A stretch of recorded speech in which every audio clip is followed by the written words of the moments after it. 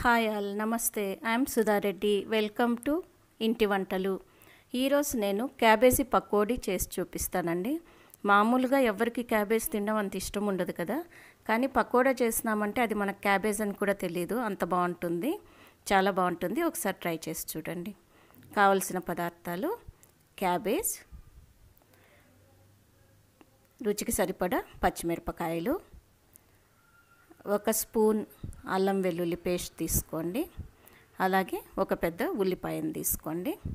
మొదట ఉల్లిపాయని సన్నగా పొడవు ముక్కలుగా కట్ చేసుకుందాం. ఇలా కొంచెం పలుచగానే కట్ చేసుకోండి. ఇది కావాలంటే వేసుకోవచ్చండి లేదు మనం ఉత్త క్యాబేజ్తోనే కూడా చేసుకోవచ్చు.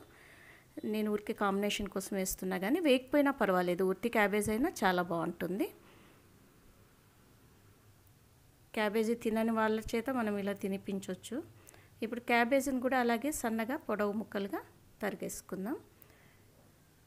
జస్ట్ ఇలా కోసేసుకున్నామంటే మనకు చక్కగా వచ్చేస్తుంది. కావలసినంత పొడవు పెట్టుకోండి. ఇలా క్యాబేజీని కూడా కట్ చేసుకోవాలి.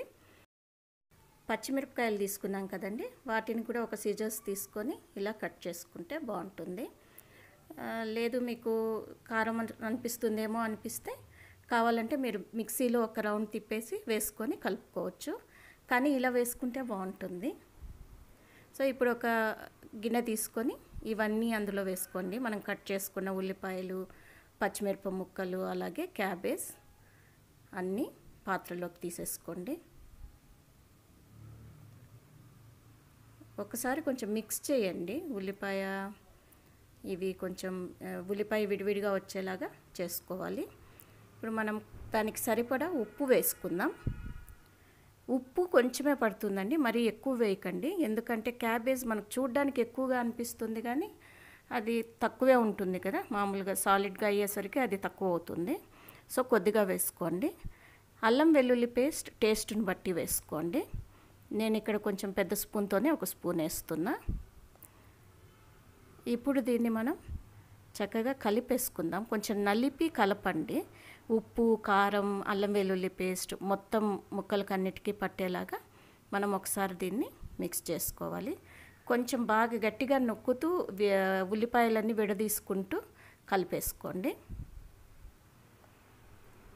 ఇది మొత్తంగా అల్లం వెల్లుల్లి పేస్ట్ మొత్తం ముక్కలకి పట్టిపోయి అన్నీ సమంగా కలిసిపోవాలి. ఇప్పుడు ఇలా కలిసిపోయిన దానిలో మనం హాఫ్ కప్ బియ్యం పిండి వేసుకోండి. అలాగే ఒక కప్ శనగపిండి వేసుకోండి. మీరు ఎంత క్వాంటిటీ వేసుకున్నా శనగపిండిలో సగం బియ్యం పిండి వేసుకోండి. ఎంత శనగపిండి వేసుకుంటారో దానిలో సగం బియ్యం పిండి వేసుకుంటే మనం వేడి నూనె వేయాల్సిన అవసరం లేకుండా మన పకోడీ కరకరలాడుతూ వస్తుందండి. బియ్యం పిండి వేసుకోవడం వల్ల మనకు అది కరకరలాడడం వస్తుంది. సో ఇప్పుడు పిండి వేసిన తర్వాత మొత్తం క్యాబేజ్లో దీన్ని చక్కగా కలిపేసుకోవాలి. మనకు పైన నీళ్ళు ఏం అవసరం ఉండదండి. ఈ తెమ్మే చాలా ఉంటుంది. నాకైతే ఇప్పుడు ఈ మెషర్మెంట్ సరిపోయింది కానీ ఒక్కొక్కసారి ఇది తెమ్మ ఎక్కువ ఉన్నదంటే మనం ఇంకా ఎక్స్ట్రా కొంచెం శనగపిండి లేదా బియ్యపిండి వేసి కలుపుకోవచ్చు. కావాల శనగపిండి వేసుకోవచ్చు. లేదు అంత శనగపిండి వద్దు అనుకుంటే కొంచెం బియ్యపిండి వేసి కూడా మనం పిండిని గట్టిగా చేసుకోవచ్చు. ఎందుకంటే ఇది తెమ్మ ఎక్కువే వస్తుంది. వచ్చి కొంచెం మరి పిండి అలా ఉండకూడదు కదా పకోడీకి కొంచెం గట్టిగానే ఉండాలి. సో ఇలా జాగ్రత్తగా కలుపుకోండి. అయితే మనం చెప్పే వరకు కూడా తెలియదండి అది క్యాబేజ్ అని అంత చక్కగా ఉంటుంది. పిండిలా నలుపుకుంటూ చక్కగా కలిపి పక్కన పెట్టుకోవాలి. ఇప్పుడు ఒక పాన్ పెట్టి ఆయిల్ వేడి చేయండి. డీప్ ఫ్రైకి సరిపడా ఆయిల్ వేసి వేడి చేసుకోవాలి. ఇందులో మనం కలిపి పెట్టుకున్న క్యాబేజ్ మిశ్రమాన్ని చిన్న చిన్న పకోడీలాగా పలుచగా వేసుకోండి. మరి మందం వేయొద్దు.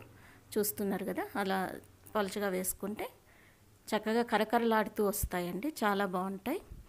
కొంచెం కాగడానికి కాలడానికి కొంచెం టైం తీసుకుంటుంది. పర్వాలేదు కొంచెం నెమ్మదిగానే వేయించండి. ఇలా పెనంలో మనకు సరిపడా వేసుకోవాలి. వేసుకొని ఇవి మనకు బాగా వేగేంత వరకు కలుపుకుంటూ వేయించుకోవాలి. చూస్తున్నారు కదా పెనం నిండా వేసాను సో ఇలా వేయించుకొని ఇలా కొంచెం టైం తీసుకుంటుందండి. తీసుకుంటుంది కానీ చాలా బాగా వస్తుంది కరకరలాడుతూ వస్తాయి నెమ్మదిగా రెండు వైపులా తిప్పి వేయించండి.